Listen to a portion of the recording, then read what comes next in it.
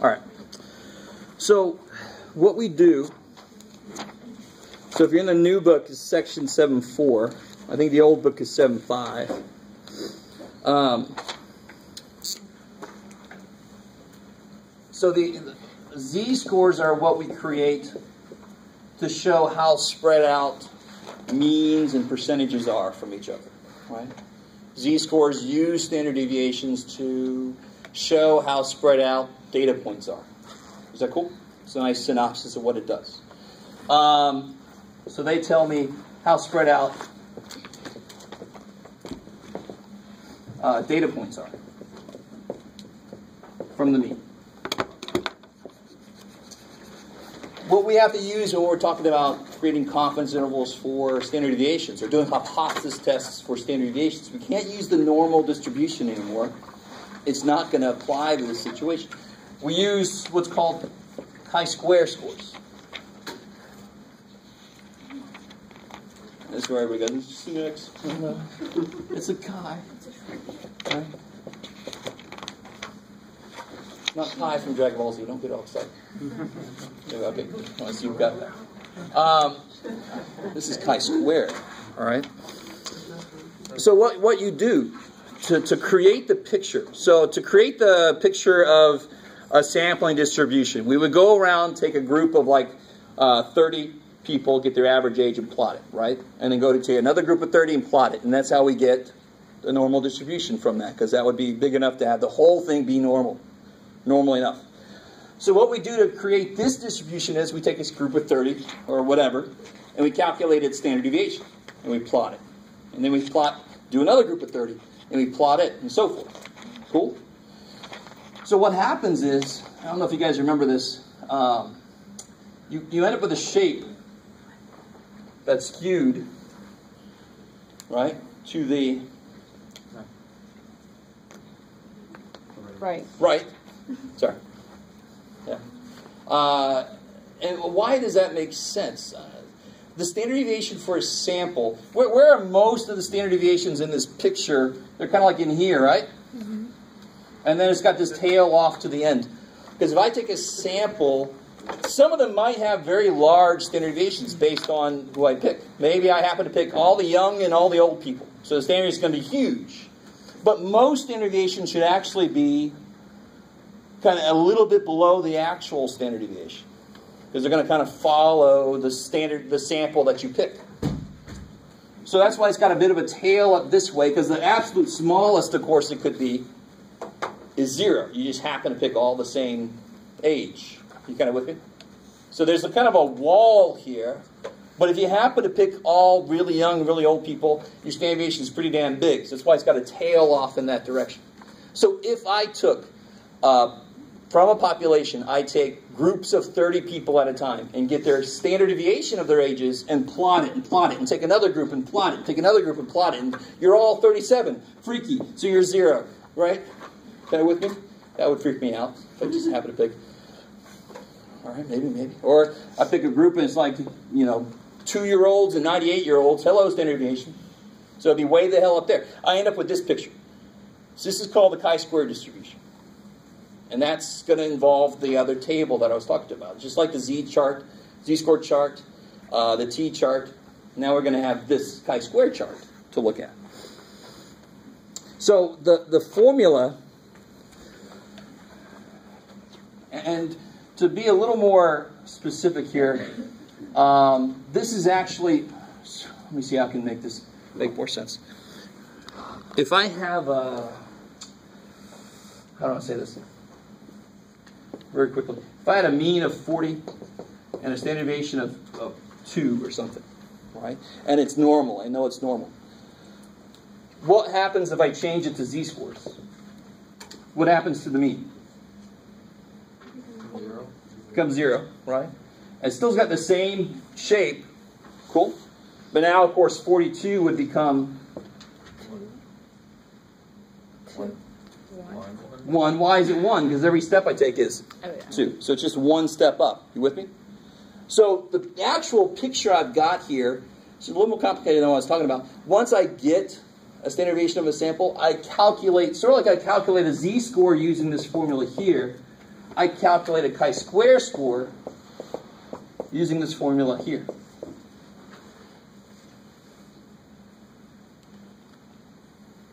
Let me let you absorb that for a second.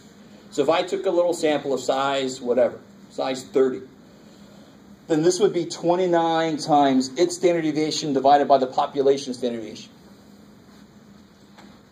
Let me let you take that in. Okay, maybe, maybe, maybe. Okay, can you say that last part again? So if I want to create this distribution, I calculate a chi-square score for standard deviation. So uh, if I took a group of 30, this would be 29 times its standard deviation squared divided by the standard deviation of the population squared. So that's what that formula is. So if my standard deviation was zero, I would end up here. And of course, if my standard deviation was as big as it could be, I'd be way the hell up there. If my standard deviation equaled exactly sigma, if I happened to pick a sample whose standard deviation was the same as the population, what would happen with the chi-square score? If these were the same, what would it be? So if I had uh, 30, 29. it would equal 29. Do you guys see that? All right, all right. So look at the, let me see, not everybody's got their books. Let me put it up here. See if they do this well enough. No, I turned it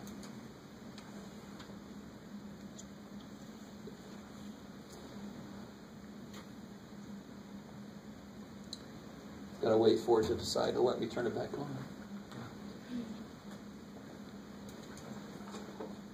All right, we'll figure it out. If you have your book, it's on page 356. You said chi's are like z-scores? In a sense, I take when measuring. Yeah, I take what I measured. So what do I do here? Look what I do here.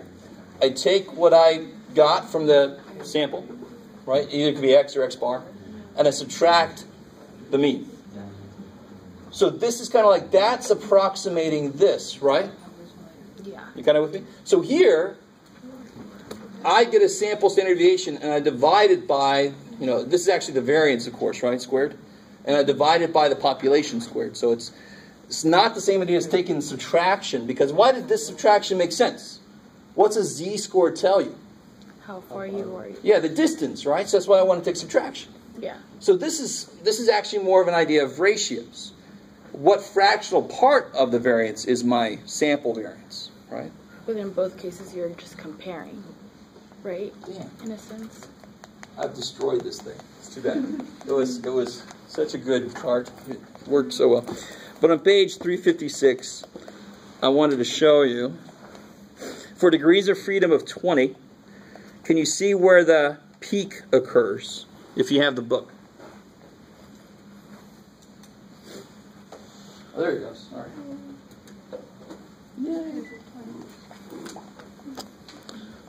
It doesn't peak at 20. So if you kind of follow it along, if you put a straight edge down in your book, if you have the book, you can see that the peak occurs a little bit below 20.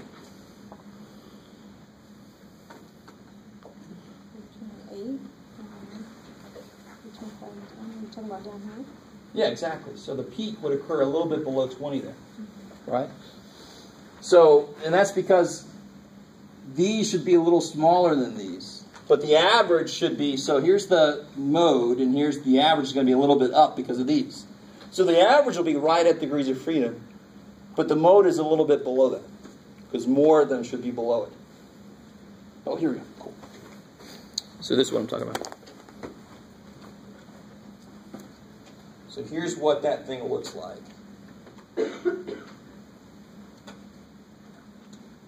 Holy crap and a half. Technical difficulty, all of it. So that's the shape. It's got the tail up here.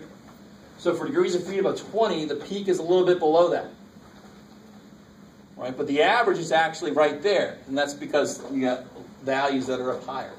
So the average of the sample variances, this is part of what we proved in section 6.4 when you guys had to do that beautiful work that some of you didn't do. But you had to make that table from a sample. Uh, you had to pick two at a time and figure out their standard deviations and so forth. And if you do the average of all of them, it equaled the uh, actual population variance. I don't know if you guys remember. It didn't work for standard deviations, but it worked for variances. So this formula would not work if I used standard deviations here instead of variances.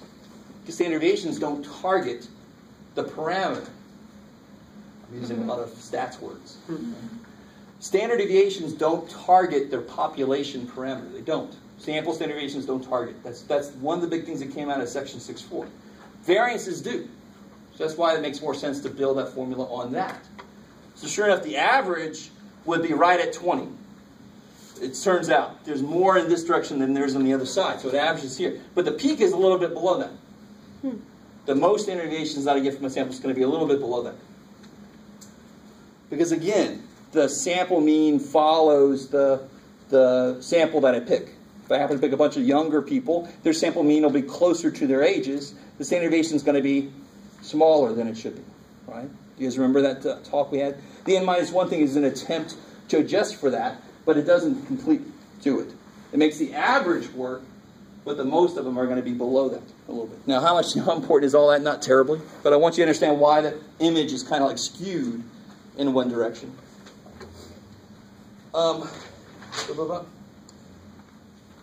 so, one thing I kind of I'm hoping that you guys are uh, somebody out there might be worried about, and, and it's sort of like remember what we did with this. We one of the things we did was we solved for x, and of course, what did we get when we did that?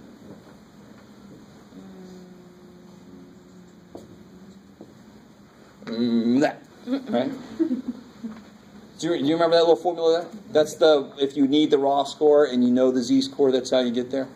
Right? And I told you that was actually a, a note. The standard deviation is the number of z scores from the mean to the data point, right? All right, maybe, maybe, maybe. And of course, do you remember off of this, we said, oh, we normally don't know this, so me replace it with what we normally know. And this is where the idea of confidence intervals came from, right?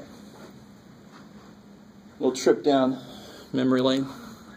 Or it's the first time it feels like some of you guys are looking at it. like, okay, Jeff. I understand. But so what we're going to do is we got. Let me rewrite this because I've done my whole like football uh, play thing on there. Then you go around this way. All right. All right. So that's what that's sort of like my z-score. If I solve it for sigma, I'm going to kind of get in the direction of uh, uh, the confidence interval, right? So, so here, this confidence interval, the upper and lower parts are because of the plus or minus z there, right? Mm-hmm. So if I want to be 95% confident, it would be negative 1.96 to positive 1.96. That's built into the formula. Are you guys with me? And it's because of this idea that it's based on plus, right? So that's a little more direct. This one is not built on plus, it's built on a ratio. How do I solve for the population variance? How do I solve for sigma squared? What do I do? Standard deviation. No, no. How do I solve for it in this formula? I would multiply 1 over n minus 1. Uh-uh. One over sigma squared. Uh-uh. None of that. Oh, you would just How do you solve for x? multiply it. And then divide by 7, right? Yeah. So you switch these. Boop. All right, so if I want to solve for this, I'm just going to switch these, sort of like what we did with the error term. Mm-hmm. You kind of remember that? Solving for n. So if I switch these, I get here.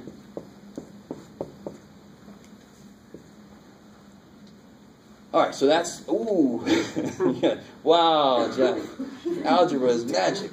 No, so what we can do from this is if I can figure out, sort of like we got here, if I can figure out the upper and lower z, and of course, what's beautiful about the z scores is they come from something that's symmetric to zero. So that was a great place to start because now if I know it's negative 1.96, it's got to be positive 1.96 on the other side.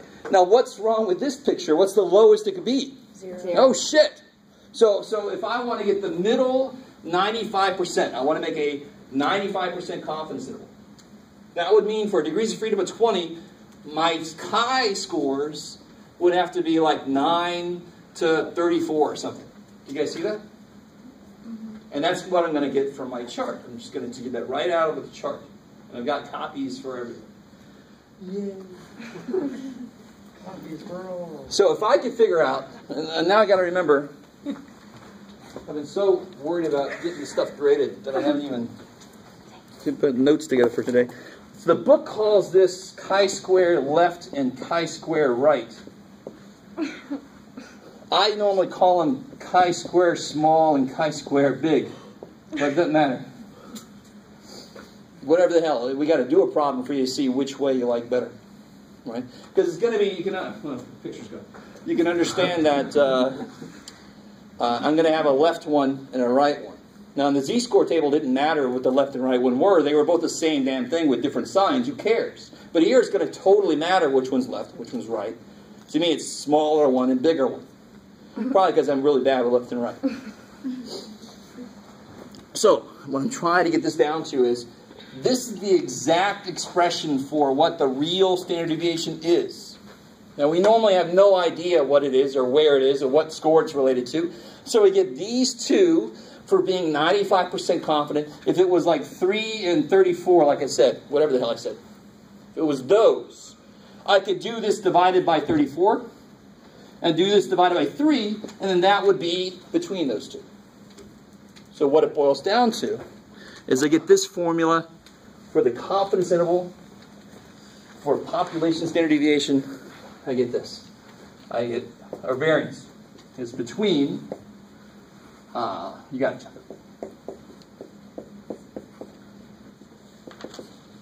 Can somebody tell me why that one's going to be big?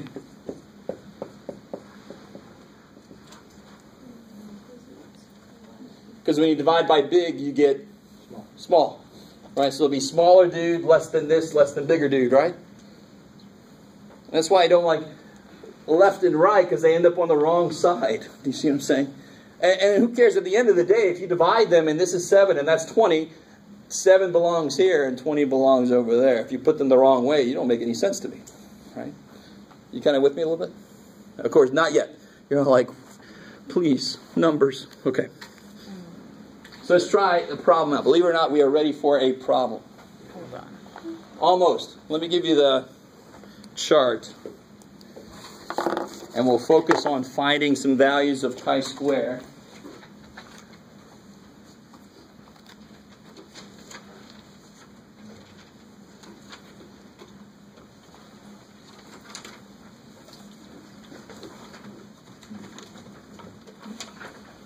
What I really what's really difficult, of course, for you guys to understand is obviously, because we're just barely getting into this thing, chi square is one of the most important values in statistics.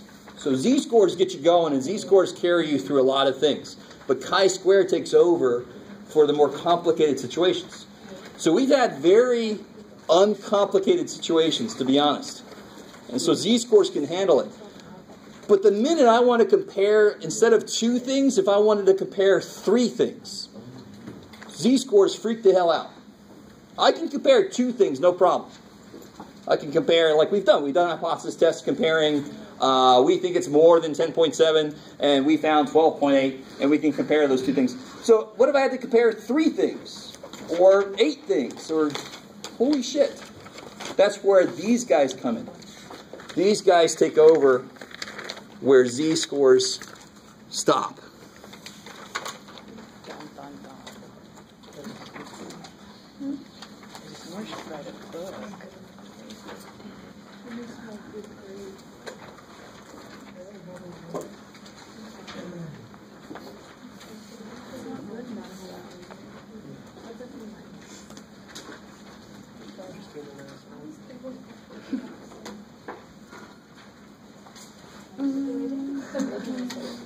All right. So I want you to realize everything's going to be a little bit more complicated because of the fact that it's not centered at zero, of course, right? It's going to be a little bit worse. You can tell the minute you look at this thing that it's going to be a little bit worse. Let's analyze this. So notice it's always the area to the right.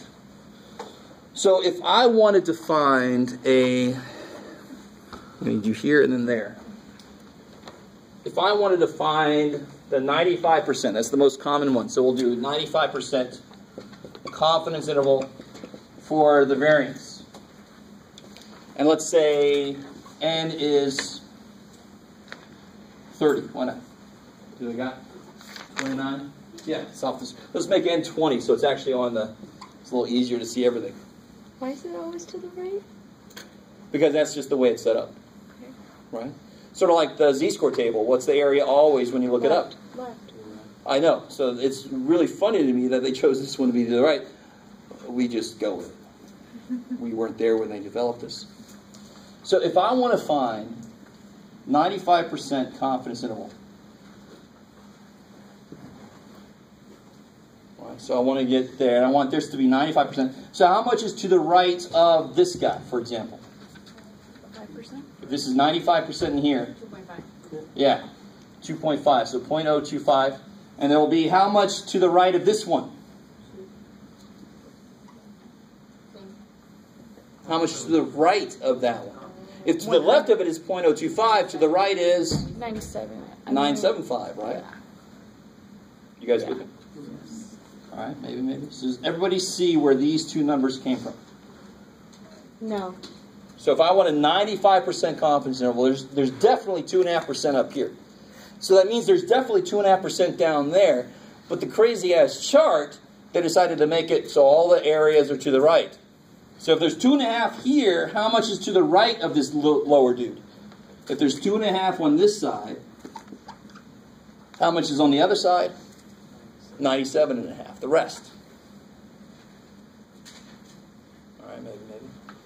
So notice how this other dude is always just going to be, let's see if this makes sense. Like in this case, it's half of 5% added to this. Do you guys see that? Some of you guys maybe think about it, mull it over. Or just always draw a picture, which is a good idea anyway. Right? Why Let me try this again. Let me ask this again. Be very honest. Does everybody see where those two numbers came from? If you don't see how to get those numbers, you can't use this. Right? You can pick numbers at random. There's a chance you'd be right. But I wouldn't put money on it. How is it not zero to the left of that line? This guy?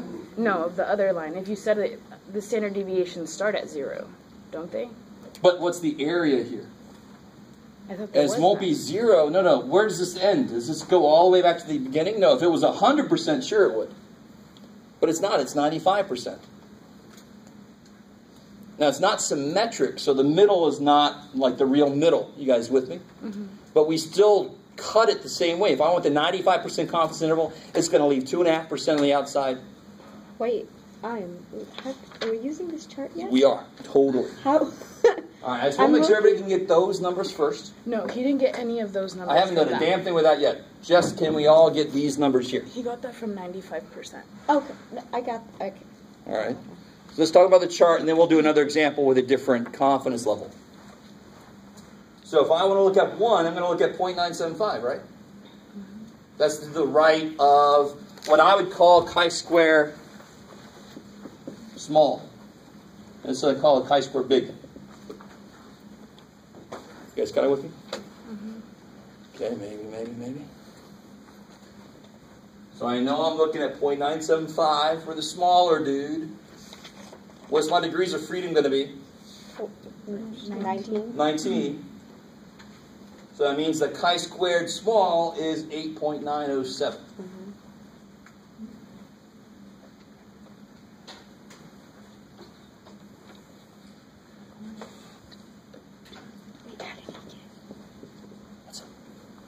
So again, if we're all cool with these numbers, I'm which not okay with that. well then you got to tell me With ninety-seven point ninety-seven.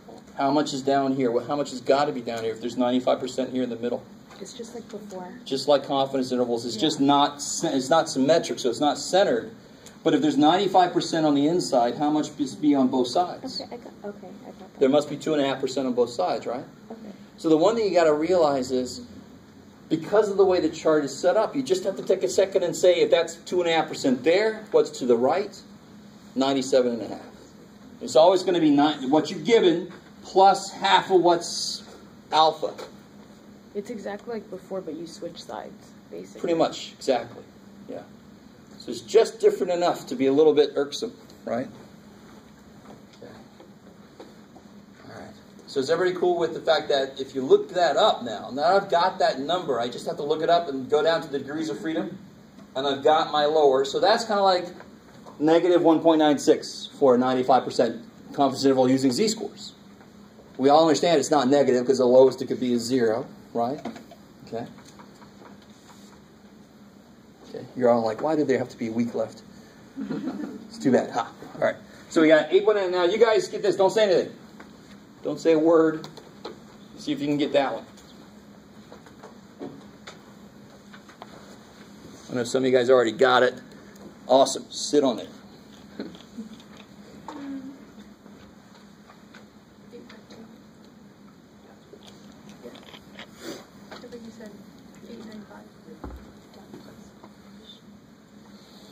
So of course this isn't bad, right?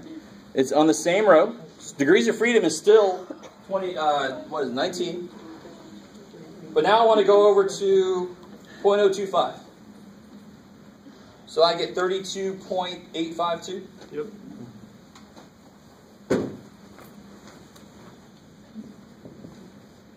Okay. So that is related to, now I know this does not, those numbers don't look at all like this, but it's exactly like finding negative 1.96 and 1.96 for my z-scores for a confidence interval that we're used to. And that was so much easier because it's centered at zero. You only have to find one side and put a negative on it for the other side. Ooh, right? Mm-hmm. Things are a little bit harder here now because we're talking about standard deviations. The smallest they could be is zero. Yes? Camera. Oh, what's the matter? It's so needy. It needs power. All right. So let's do another one of those before we do an actual whole problem out. If I gave you a standard deviation that we found from this, you would just plug it in there. Yes, ma'am. You're good? So let's let's actually do this whole problem out. So let's say you got a standard deviation from your sample. You took 20 things, 20 people, got their ages, but you took the standard deviation of their ages. And let's say you got uh, 5.91. How would I throw together this confidence interval formula? What would go here? 19. 19. How are we doing so far? What's up, man? I don't know how you got to 32.852. So what was the other number? 0.025? Yeah. Degrees of freedom is 19. So look at it, 0.025. Okay, oh, okay. Cool. I like it. So that's why this is so key. If you can't find these numbers, you can't do anything with the chi-square stuff. Let me do a little CPR for my phone. Clear.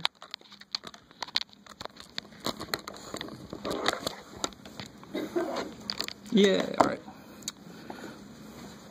So, finishing this out. So here would go 19. What would go here? 5.91 squared. Good. Now the thing you got to realize, I don't, I've kind of said this before in a sort of way. These numbers are what chi-square is. You don't square it. You kind of with me? So chi-square small is 8.907. You don't square that again, right? Uh, oops, sorry. So what should be on this side, of course, big. 32.852. So my population variance is in between that, and on the other side, the top is exactly the same again, right? And the bottom now is going to be this guy.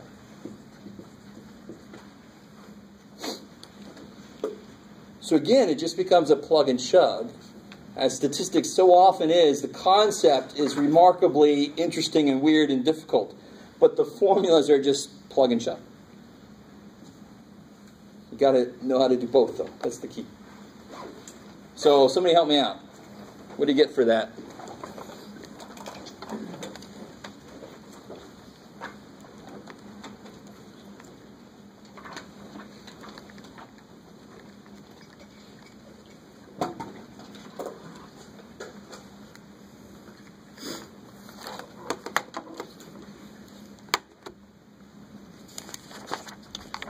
see if that's the same. Yeah. So for this lower one, I got 20.201.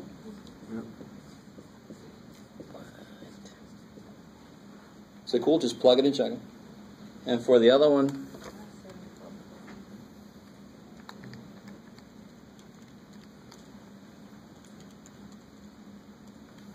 yeah, 74.507. Like that. Now that's what the variance does. Now that seems like, wow, good job there, man. But that's the variance. How do you get something for the standard deviation? You just take square roots. Kicks ass. If I take a square root of that guy, the bigger dude, because he's the one up on my screen at the moment, I get 8.632. And for the smaller, the other guy, 4.495.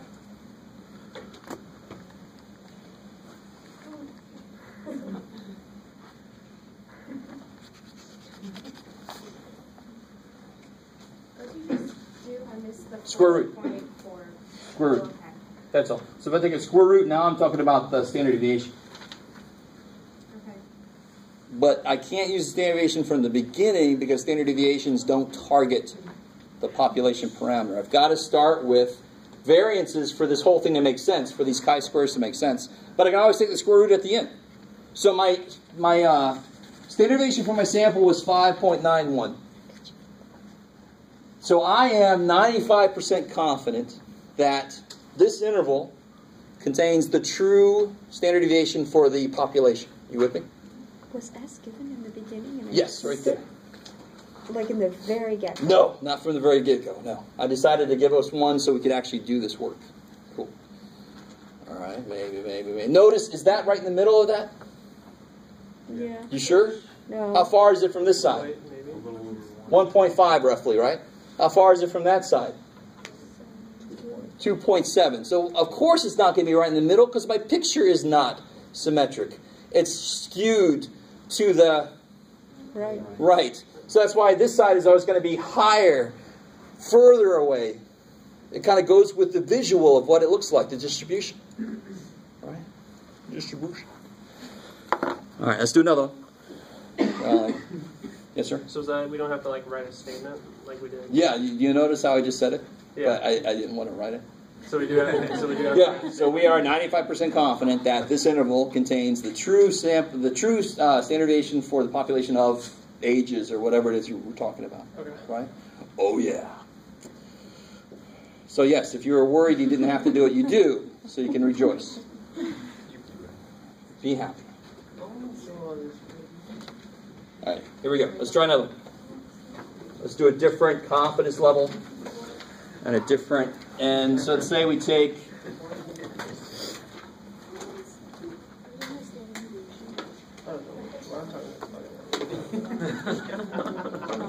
Say we take. Here we go. Talking about those. 31 and we find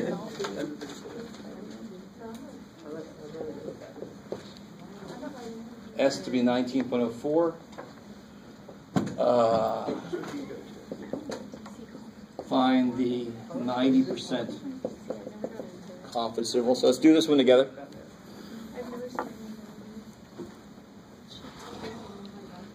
which movies I've never seen any of the Batman movies. oh my gosh No shit. That's what I said. That's only slightly. That's slightly less sacrilegious than never seeing any Star Wars. I Uh, like Star Wars. good. All right. So it's, you're not as bad off then as does it. He just thinks I'm not terrible at life. No, I do. Even, even That's a bit of a stretch. All right. So the 90% confidence. Let's start with the what appears to be the hard part of this problem is getting used to how this thing is laid out and how to get there. Right. If I want to be 90% confident, you don't have to make your picture. You can make it like normal, but just realize it is skewed. There's 90% in there, so how much is going to be on this on each side? Five percent. 5%. So of course this one is going to be easy. That's 0.05. What's this one going to have to be? Ninety-five percent. Yeah, 0.95, right? So again, it's going to be that plus the number you started with, right? Always. It's all, one of them is going to be half of what's outside, and the other one's going to be that plus what's in the middle. Because of course that's how you get this. You take you take that plus that to get the whole side. Yes, sir. So on the on the chi or whatever chi uh, chi square chart Yes. with the zero zero point nine five is ninety. Would zero point ninety then be what 80? 80 percent confidence? Yeah, yeah. If it was 80%, then it would be 0.10, right? And this would be 0.90. Right. Totally. Yeah. Cool. That's it. A lot, totally. And notice these two, of course, always have to add up to 1. So that's another quick way. If you know that one's 0.05, the other one's got to be 1 minus that. What? So remember, what was it before? the one we just did was uh, 0.025, and this was 0.975, right? Well, what's 1 minus this? That. Oh. All right. So can you guys get chi-square big and chi-square small for this? Yeah. Thirty.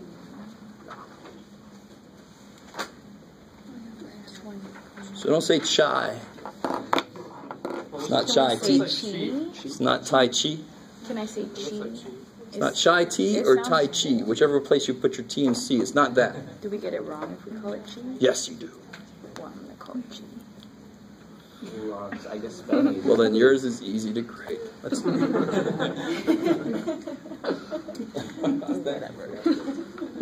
All right, so let's see. So I got to kind of, I don't want to make this too small. So here's my 0.95. I can get the uh, small dude, 0.95. If I go down to, what's my degrees of freedom? Thirty. 30. Twenty. So I get, what do you guys get? Twenty-two. 18.493. Beautiful, 18.493. Oh, wrong number. 18.493. And then this guy, I look at the same row, degrees of freedom is still 30, and I go over to 0.05. What do you get? 43.773. Kick ass.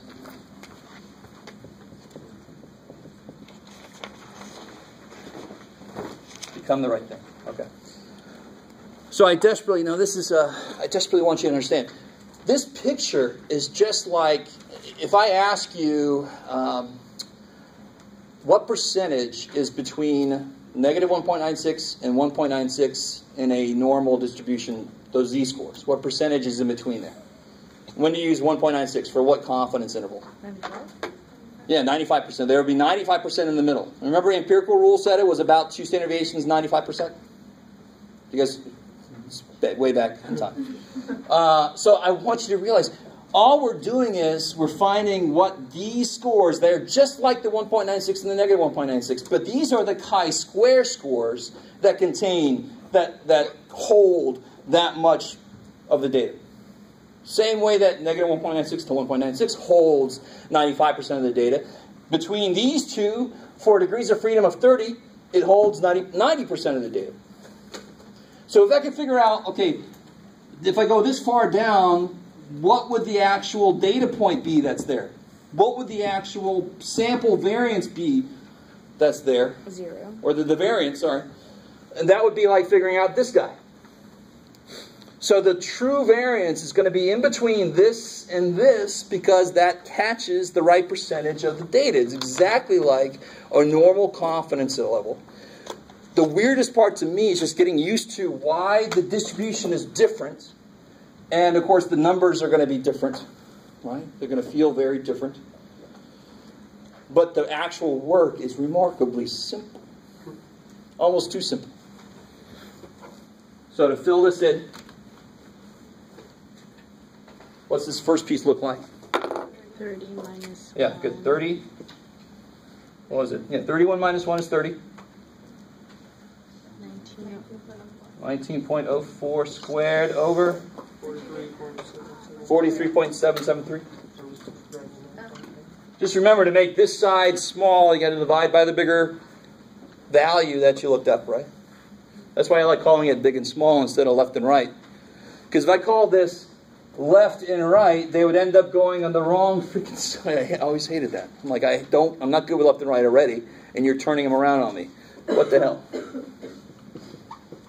And of course, notice the tops are always the same. That could be some kind of a shortcut on calculation stuff. So that's going to be over, Uh, 18.4. yeah, 18.493. Good. And then just plug and shut.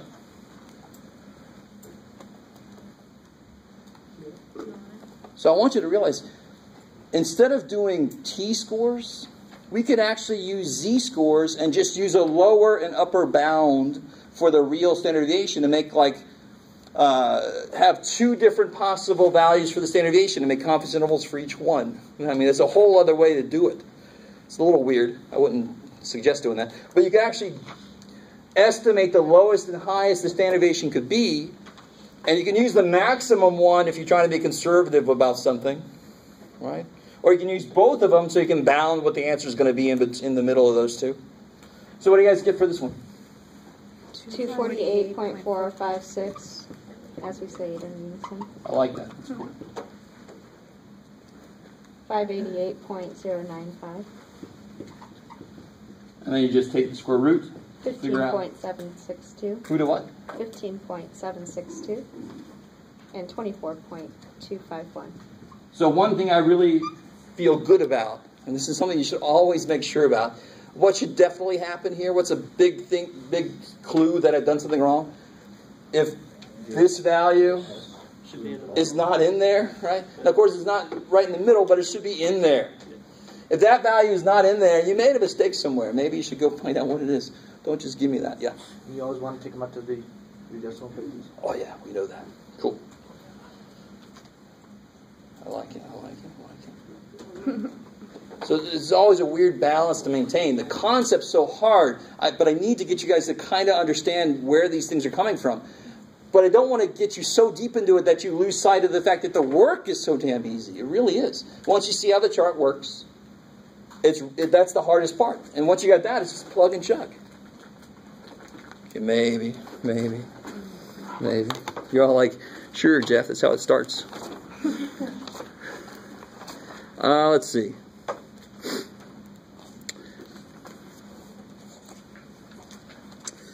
Oh, that would be good if I had that.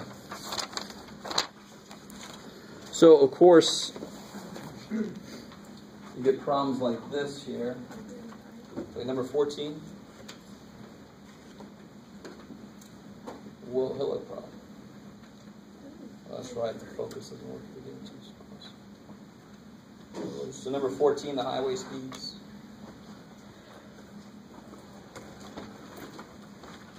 So we should be used to this. When we learned T-scores, they started giving us problems where we had to calculate it through using what? How would I do number 14? What's one of the first things they need to calculate? Yes, deviation. Of course, how do I do that?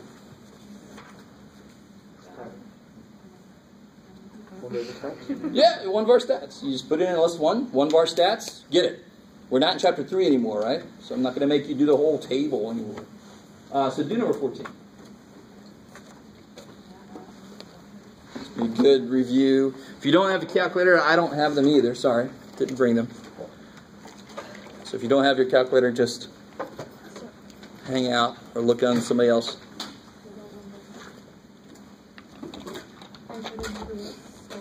Go buy one. Have Amazon drone it in for you. That'd be neat. Here it comes, Jeff. Here, here. It opens the door. You know, I think Amazon is going to be Skynet because they're actually creating robots to take over some of the menial tasks of going up and down the long aisles of stuff they have in their warehouses and taking stuff out. They're designing better robots to do that. So that's where They're gonna take over the world. it's a little less uh, exciting of a place for them to come from. Give me a cross. And what would you like? Produce. I swear my whole life I thought making robots was illegal My whole life I thought that. I must have seen it in a movie or something. And then I saw a robot on TV and I was like, what the heck? I thought it was illegal. And they're right there flaunting it. I know, hell? and I was like, I still Robot. think it should be illegal. Really? yeah. All right. trying to replace Just you. don't let them think for themselves. Yeah. 50 years when the robots are thinking for themselves, they'll be like, We're that kind get of so talk got us in lazy. trouble. People Huh? are gonna get so lazy. So what? Lazy. We're already lazy. Well, have you seen WALL-E? Yep. I've never seen Exactly. that. That's exactly. They don't. They don't even walk in WALL-E. They run. I know, but when they do walk, they're like little babies. But they're getting, I think two of them hit each other or something. They're on. They're like, Eh. I mean, we're not far from that, to be honest.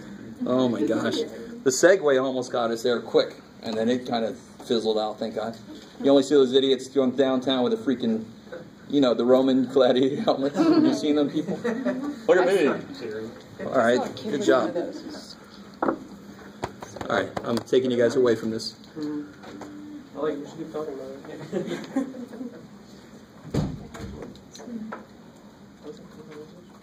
So how do I do one more step? Know, like he was at the beginning. He has like personality before, wasn't. Okay, so I stab. Disney movies make me really sad, like on a different level. What do you think they have to tell you at the beginning of this homework section? What do you think still got to be true about this? What are we trying to get? Yeah, it's got to come from a, a population that's at least normal enough, right? So, at the very beginning of this section, they say they do. I think so. Because we're talking about. Yeah, way to go, Patrick.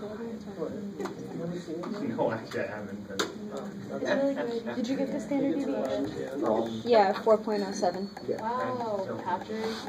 Why didn't you choose 3.90? Because it's It's not, it's, it's a sample, it's not known. Population isn't known. Makes sense. Makes perfect sense. You're welcome. How I filed the return for you. Yeah, that's a little more. Where are you going?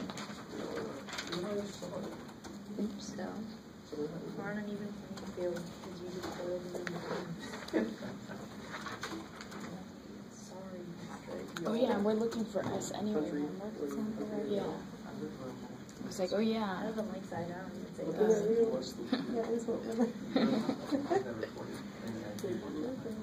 Okay.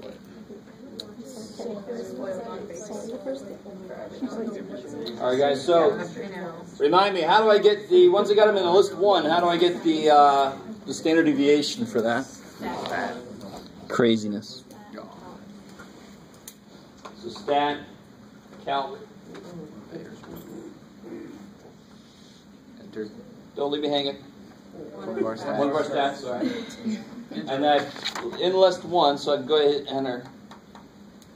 So the only thing I, I need from that list is what? S. Good, S, because this is a sample. So I definitely won't have to use this. Some I love that uh, one semester I had somebody tell me, well, the calculator gave me the, the standard deviation of the population. At this point in the semester, I'm like, no, come on. So this, of course, calculator has no idea. We already talked about that. We know it's a sample we put in there. We got to use this guy. All right, so let's see. So now we're at the very beginning. That whole thing was just to get us started. So now I know n is what? 12. S is 4.075. So now I just got to find. Uh, the God. G. Yeah. That's how you, uh, do this long. Yeah. Just put 4.07 in the wrong. Yes. For two reasons. It would be 4.08 if you took it to two decimal places. But more importantly, you got to take standard deviation out at least three places. Right? Realistically, you don't want to round it at all, but you know, we get tired writing all these decimal places. Three's good. Um, so 95% confidence. What am I? We already did this earlier, but what are my two percentages I'm going to look up. Yeah, 0.975 and 025. You just got to make sure those two add up to be 1, and that means you're on the right track. At least you're not as far off as you could be.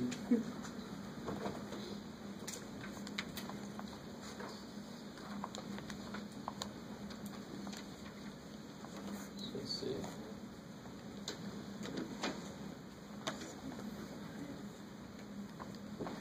There's 12.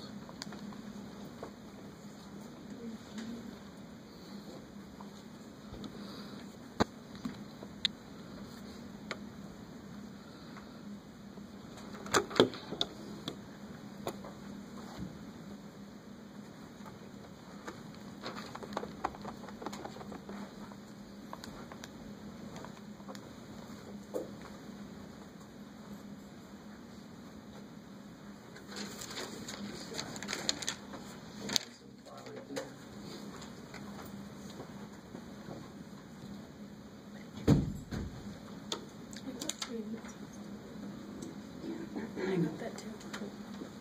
If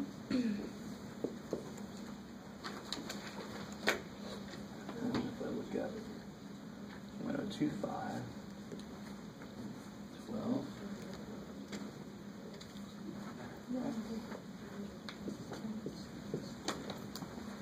Don't you have to do a degree of freedom? Yeah. Yeah. Oh, sorry. Degrees of freedom is what? Eleven. 11. Thank you. Come on. That's a little bit better. So what should it be? What's the small one? point eight one six Yeah, 3.816. I like how you guys are all. Should we say something? Is that right? Twenty-one point nine two. 0.025. What is it? Twenty-one point nine two. 21.920. Cool. And then you just got to plug and chuck, right? So you got your degrees of freedom, 11. Four point oh seven five. Yeah, so 4.075 squared over the big dude to get the smaller number. And the bigger number, same top. And of course, divided by the other right? Coolness.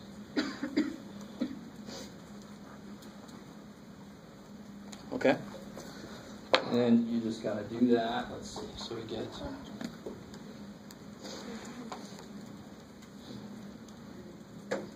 So one thing I sometimes do, it's not that big of a deal here. Four point Before you took this, mm-hmm. Eight point three one three. square. It's because you rounded. I didn't round. I just went straight. So it'll be that divided by twenty-one point nine two oh. Coolness. And then that divided by three point eight one six. What? Is that cool? So I, it doesn't matter. It's not that big of a savings in time. You can store the top in X and then you just got to divide. Because the tops are the same, right? Uh, so you get from 8.333 up to 47.867. So the actual standard deviations between Two point eight three. 2.883, Eight eight three. I got eight eight seven. Eight, eight, seven. 887. All right, cool. People jumping in. And then that one, Six point nine one nine. okay. And of course, does it make sense? At least in one sense, it does, right? So that is uh, 1.2 roughly away from this side, but it is 2.9 away from that side roughly, right? So that's another little check. It should always be closer to this side because of the way that this picture is skewed. Okay, maybe, maybe, maybe. S should. S should be. Yeah. S. It will never be in the middle. It'll always be on this side because of the way this thing is skewed. Can, Yes, we, can we write down what the statement will be? Yeah. So we'll, how would we go here? We are. We are ninety-five percent confident that the interval two point eight eight three, blah, blah, blah, blah, blah, Yeah, holds the true standard deviation of the population. 2.887 to 6.919. Uh, Real quick, some of you guys write intervals, right? There's only one interval there. Right? To define an interval, I need a lower and an upper. So Don't say intervals. It's kind of like scratching a chalkboard with like, oh no. There's just one interval down there, right? This is just an example of my geekiness. Just interval. Uh, we are 95% confident that the interval this contains the true standard deviation of the population of what? What was this all about? Number highway speeds. Yeah. You don't have to get all you know, highway speeds. Is fine. They're all they're very specific about highway speeds. Cool. So that's exactly the same language we used for the other kinds of confidence intervals, right? So this is still chapter seven. All the same kind of stuff applies. I just have to use this different distribution because we're talking about standard deviations themselves. And standard deviations are what set up the other distribution that we use. So that's why we have to use some other distribution. Maybe, maybe, maybe, maybe. Hopeful, hopeful, hopeful. All right, so again, uh, this is section 7.4 in the new book, 7.5 in the old book. In the old book, 7.4 was the T-score section. They broke that up in the old book. Um, just to give you a little preview, section 8.5 is the hypothesis tests for this. Uh, let me see if they give you a little. No, they don't. Rah. Where do I go? 8.5, there. Uh, here, yeah, good.